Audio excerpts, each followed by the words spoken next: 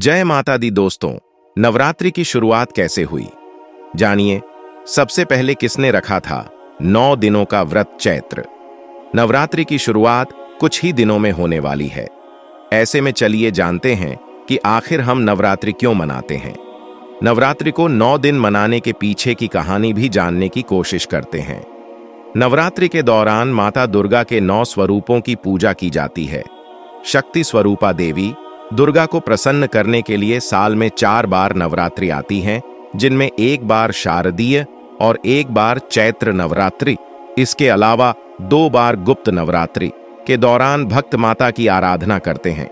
नवरात्रि में माता की पूजा अर्चना करने का विधान सदियों से चला आ रहा है। लेकिन क्या आप जानते हैं कि नवरात्रि की शुरुआत कब और कैसे हुई? सबसे पहले नवरात्रि में नौ दिनों तक व्रत किसने रखा? अगर नहीं तो आज हम आपको बताएँगे कि नवरात्रि मनाने की शुरुआत कैसे हुई थी और सबसे पहले किसने नवरात्रि का व्रत किया था। माम दुर्गा स्वयं शक्ति स्वरूपा हैं और नवरात्रि में सभी भक्त आध्यात्मिक शक्ति, सुख समृद्धि की कामना करने के लिए इनकी उपासना करते हैं और व्रत रखते हैं। जिस राजा के द्वारा नवरात्रि की शुरुआत हुई थी, उन्होंने भी देवी दुर्गा से आध्यात्मिक बल और विजय की कामना की थी। वाल्मीकि रामायण में उल्लेख मिलता है कि किशकिंधा के पास ऋष्यमुख पर्वत पर लंका की चढ़ाई करने से पहले प्रभु श्री राम ने माता दुर्गा की उपासना की थी।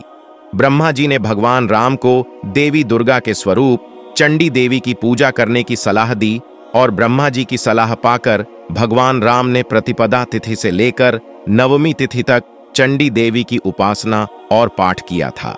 भगवान ब्रह्मा ने चंडी पूजा पाठ के साथ ही राम जी को बताया कि आपकी पूजा तभी सफल होगी जब आप चंडी पूजा और हवन के बाद 108 नील कमल भी अर्पित करेंगे। ये नील कमल दुर्लभ माने जाते हैं। राम जी ने अपनी सेना की मदद से ये 108 नील कमल ढूंढ लिए। लेकिन जब रावण को यह पता चला कि रामचंडी देवी की पूजा कर रहे हैं और नील कमल ढूंढ रहे हैं तो उसने अपनी मायावी शक्ति से एक नील कमल गायब कर दिया। चंडी पूजा के अंत में जब भगवान राम ने वे नील कमल चढ़ाए तो उनमें एक कमल कम निकला। यह देखकर वो चिंतित हुए और अंत में उन्होंने कमल की जगह अपनी एक आँख माता चंडी पर अर्पित करने का फैसला लिया। अपनी आँख अर्पित करने के लिए जैसे ही उन्होंने तीर उठाया, तभी माता चंडी प्रकट हुई और माता चंडी उनकी भक्ति से प्रसन्न हुई और उन्हें विजय का आशीर्वाद दिया। फिर प्रतिपदा से लेकर नवमी तक माता चंडी को प्रसन्न करने के लिए प्रभु श्री राम ने अन्न जल कुछ भी ग्रहण नहीं किया। नौ दिनों तक माता दुर्गा के स्वरूप, चंडी देवी की उपासना करने के बाद भगवान राम को रावण पर विजय प्राप्त हुई थी।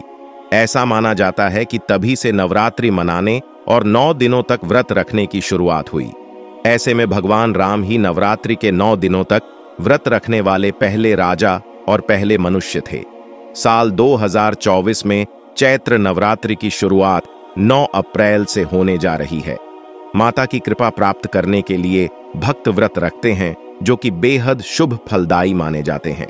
ऐसा कहा जाता है कि नवरात्रि में श्रद्धा पूर्वक माता की उपासना करने से जीवन की सभी परेशानियों से छुटकारा मिलता है। नवरात्रि के पहले दिन विधि विधान से कलश स्थापना की जाती है।